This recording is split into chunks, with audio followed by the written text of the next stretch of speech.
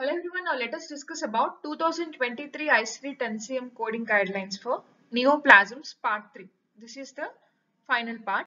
In the current session, we will be focusing these following topics. The first one is sequencing of neoplasm codes, current malignancy versus personal history of malignancy, leukemia, multiple myeloma and malignant plasma cell neoplasms in remission versus personal history, aftercare following the surgery for neoplasm, follow-up care for completed treatment of malignancy, prophylactic organ removal for prevention of malignancy, malignant neoplasm associated with transplanted organ, breast implant associated anaplastic large cell lymphoma, and finally the new addition, secondary malignant neoplasm of lymphoid tissue. First coming to sequencing of neoplasm codes, it is subcategorized into encounter for the treatment of primary malignancy, encounter for the treatment of secondary malignancy, malignant neoplasm in pregnant patient, encounter for complication associated with neoplasm, and complication for surgical procedure for the treatment for neoplasm, and pathological fracture due to neoplasm. Now coming for encounter for treatment of primary malignancy. If the reason for encounter is treatment of primary malignancy, then primary malignancy should be the PDX, followed by any metastatic sites. Let us see an example. Female patient with ongoing chemotherapy after right mastectomy for breast cancer. Here the reason for visit is breast cancer. So C50.911 malignant neoplasm of unspecified site of right female breast and additionally patient has recently had right mastectomy. Patient had right mastectomy. It is not mentioned whether it is recent or not. So status code Z90.11 acquired absence of right breast and nipple. The next guideline is encounter for treatment of secondary malignancy. When the encounter is for a primary malignancy with metastasis and the treatment is directed towards the secondary site or metastatic site, then the metastatic site is designated as PDX. And the primary malignancy is coded as additional code. Let us see an example. Patient has primary colon cancer with metastasis to rib and is evaluated for the excision of portion of rib bone. Here the reason for visit is treatment of metastatic site. So that should be the PDX. C79.51 secondary malignant neoplasm of bone followed by C18.9 that is malignant neoplasm of colon unspecified. This is the primary malignancy.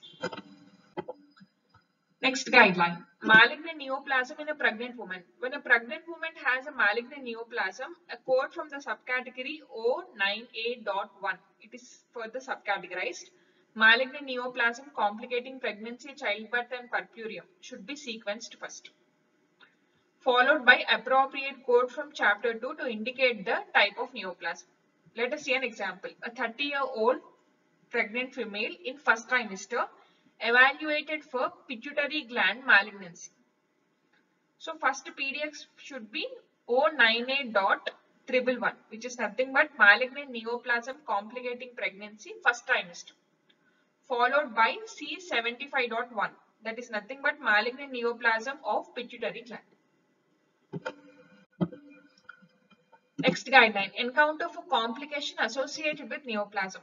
When the encounter is for management of complication associated with neoplasm such as dehydration or malnutrition and the treatment is only for complication then complication should be coded first followed by appropriate code for neoplasm.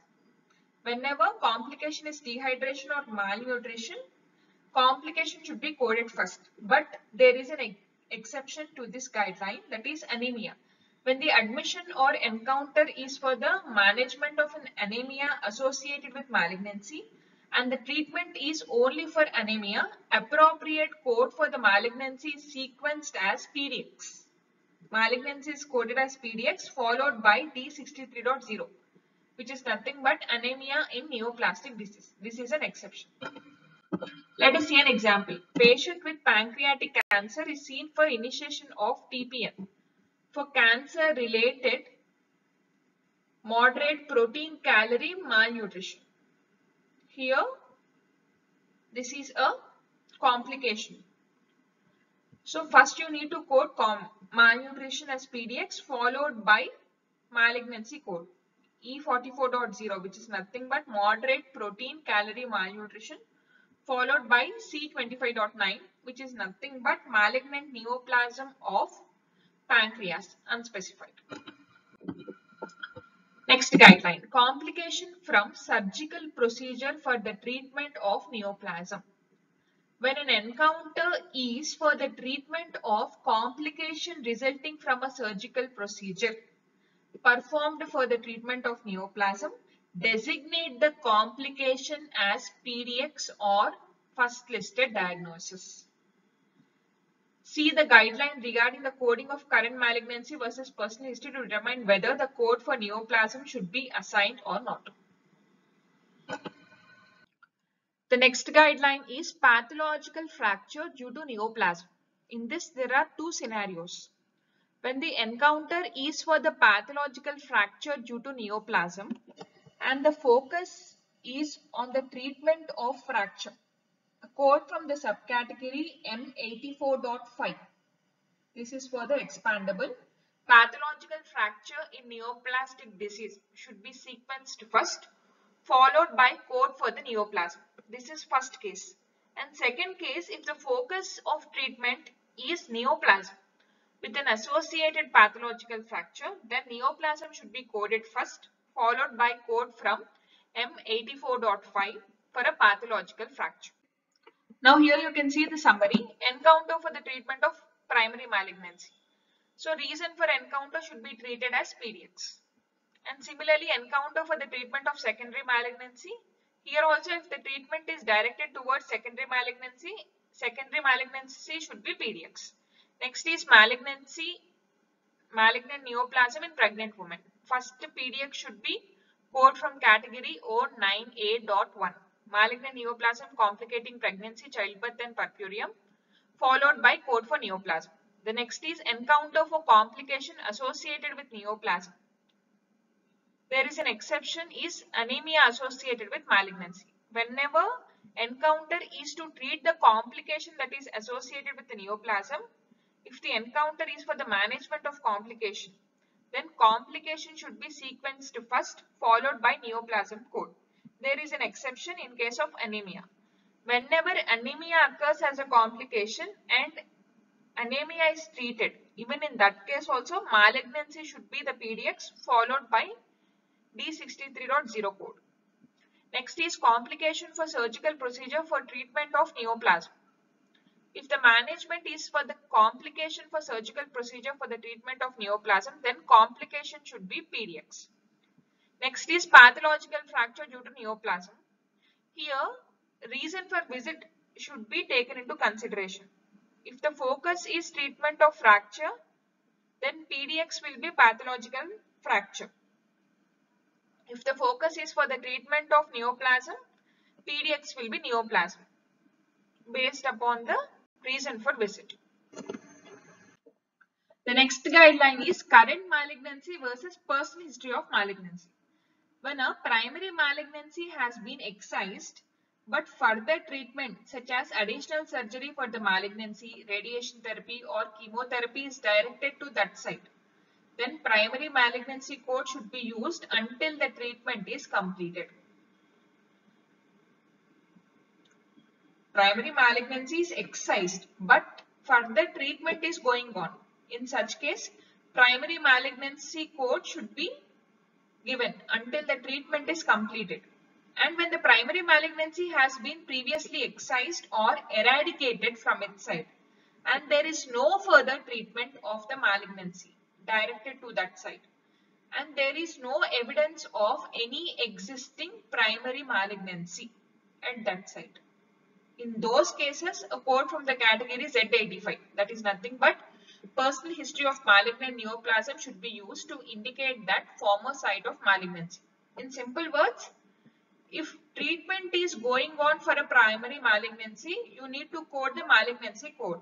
Only when malignancy is completely eradicated and there is no further treatment and there is no evidence of any existing primary malignancy. In these cases, you need to use the personal history of malignancy code. That is category Z85. So subcategory Z85.0 to Z85.85 should only be assigned for the former site of primary malignancy, not for the site of secondary malignancy. This is important. Codes from the subcategory Z85.0 to Z85.85 should only be assigned for former site of primary malignancy, not the site of secondary malignancy. And the code Z85.89 may be assigned for the former site of either a primary or a secondary malignancy. Next guideline is leukemia, multiple myeloma and malignant plasma cell neoplasm in remission versus personal history.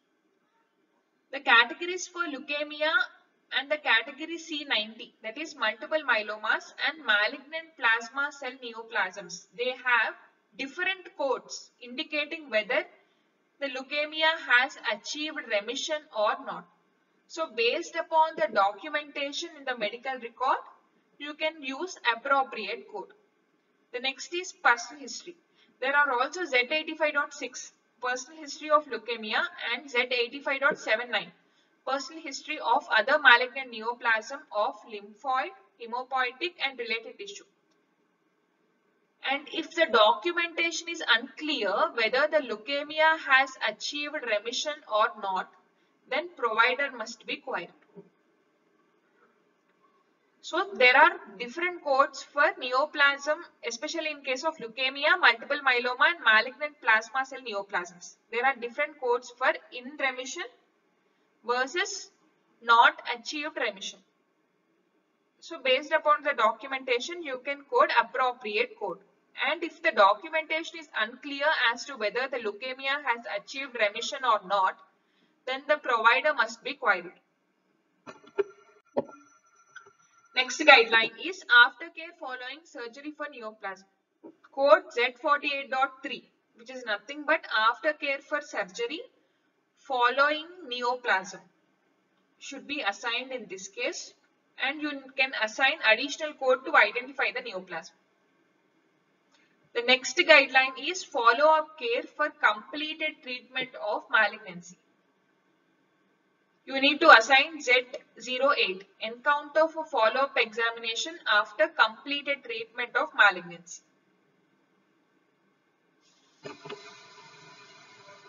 For aftercare following surgery of neoplasm, surgery for neoplasm, you need to use the code from the category Z48.3 followed by neoplasm as SDX.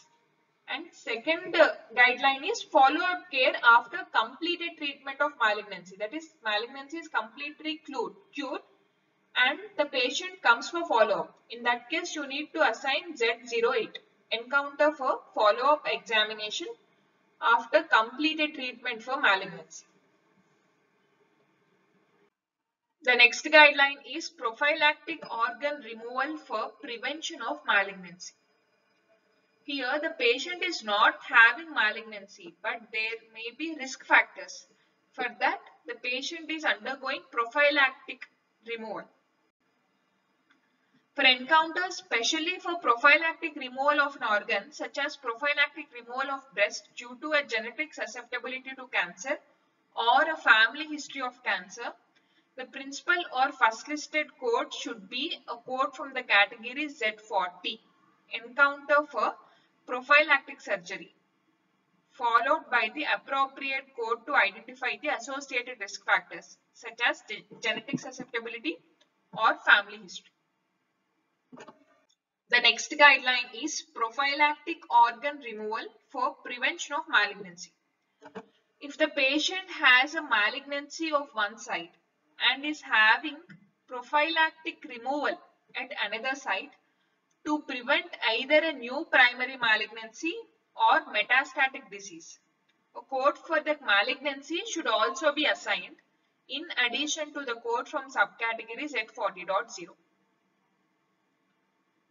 For example, patient is having right breast cancer and patient is going for prophylactic removal of left breast. So additionally, right breast cancer code should also be given along with Z40.0 code. And a Z40.0 code should not be assigned if the patient is having organ removal for the treatment of malignancy. This should be assigned only for prophylactic removal and Z40.0 code should not be assigned if the patient is having organ removal for treatment of malignancy such as removal of testis for the treatment of prostate cancer. The next guideline is malignant neoplasm associated with transplanted organ. A malignant neoplasm of a transplanted organ should be coded as a transplant complication.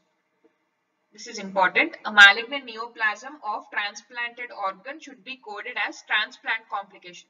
So first PDX will be assigned the code from category T86.0.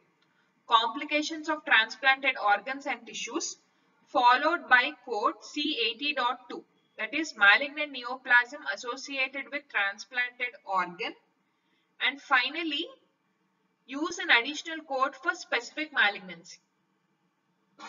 So three codes must be used. PDX should be category from the categories T86 and then followed by C80.2 malignant neoplasm associated with transplanted organ and additional code for specific malignancy. The next guideline is breast implant associated anaplastic large cell lymphoma. So, breast implant associated anaplastic large cell lymphoma BIA-ALCL is a type of lymphoma that can develop around the breast implants. So, assign code C84.7a Anaplastic large cell lymphoma ALK negative breast for BIA ALCL and do not assign do not assign a complication code from chapter 19. In case of breast implant associated anaplastic large cell lymphoma, you need to assign code from C84.7a and you should not assign a complication code from chapter 19.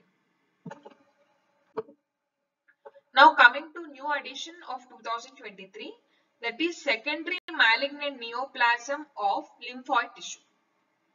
This is this guideline is a new addition. Secondary malignant neoplasm of lymphoid. Now secondary malignant neoplasm of lymphoid tissue. In general what we will do whenever there is secondary malignant neoplasm there will be a specific code for that particular organ or site. But when a malignant neoplasm of lymphoid tissue metastasizes beyond the lymph nodes. A code from the category C81 to C85 with the final character 9 should be assigned identifying extranodal and solid organ sites rather than a code for secondary neoplasm. For example, for metastasis of B-cell lymphoma to lungs, brain and left adrenal gland. Assign a code from C83.39.